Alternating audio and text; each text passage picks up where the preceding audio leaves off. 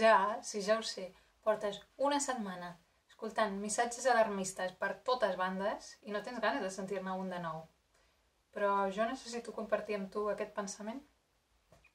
Soc la senyoreta Meravella i fa anys que vull ser youtuber, però mai trobava el moment i mira, el confinament m'ha donat tot el temps del món. Atenció, que si em reconeixes, guarda'm el secret. Seria com veure el Clark Kent pel carrer que se'n va a treballar al diari i tu comencessis a cridar als quatre vents. Oh, però si és el Superman, és el Superman, mireu, mireu. Oi que no ho faries? Doncs... Xxxt. Mira, jo tota la vida he estat molt maniàtica. Sempre he mirat on toco i on no. Fins i tot anava de colònies, posava dins del sac, m'embolicava bé i estava tota la nit patint que algun cabell no toqués aquell coixí que no era el meu, no sabia si era net, Fas la idea, no? O quan a les excursions la gent portava per compartir, doncs jo què sé, una bossa de quicos, no? I llavors t'ofereixen a un, l'ofereixen a l'altre, tothom posant les mans a, a dins, en principi cap problema, però és que algun feia així i després es llapava tots els dits i després tornava a posar la mà dins. Llavors és com, en vols més? Doncs no, serà fastigosa. No, gràcies.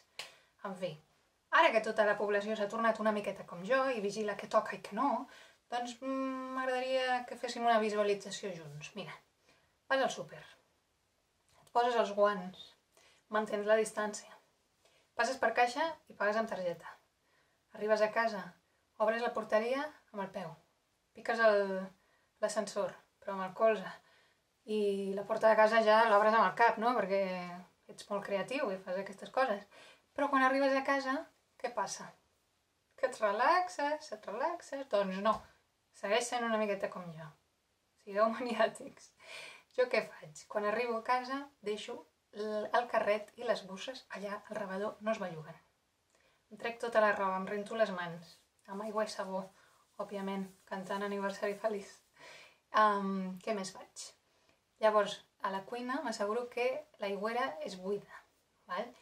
I si teniu dues piques és més fàcil, si és amb una, jo omplo tota una de les dues piques que tinc de, dels productes que he comprat, vaig agafant producte per producte. Òbviament no agafo el carret i l'arrossego per tota la casa, perquè tota la porqueria que porten les rodes l'entraries a casa. I això no només ara, eh? Això tota la vida, en fi. Omples una de les, de les piques de productes i l'altra la, la utilitzes per anar-los ensabonant i esbandint. Si només en tens una, no et passis d'omplir perquè no tindràs espai. Val? Um, després els asseques tots els productes i els deses. Val? Atenció, fruita i verdura, la fruita en principi cap problema, la verdura hi ha alguna que no aconseguiries de secar-la bé, llavors et faria malbé, cosa que no volem ara perquè no volem sortir a comprar. Llavors, què faig? Jo, per exemple, les carxofes, que no saps mai si s'han assecat o no, doncs les deixo en un lloc a part i sé que aquella zona és de quan cuini, doncs en aquell moment sí rentar-les.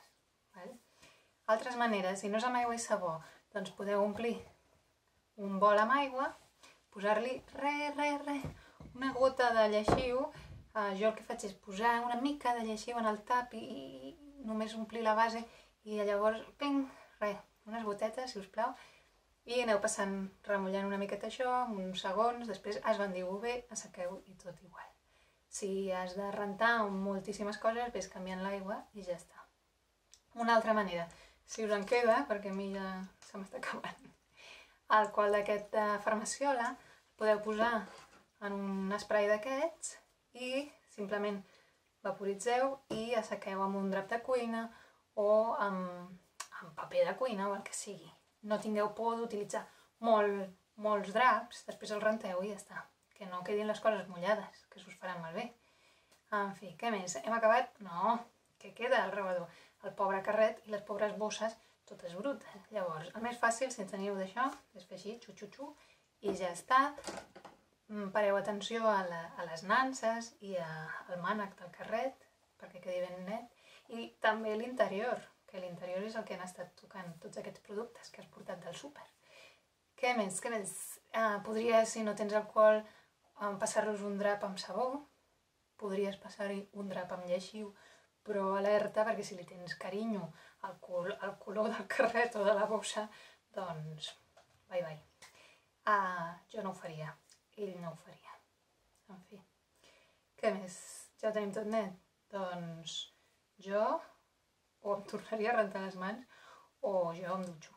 Jo em dutxo, però entenc que si no teniu aquest costum de mullar-vos tots sencers, doncs amb les mans potser n'hi ha prou, les mans i la cara, mira.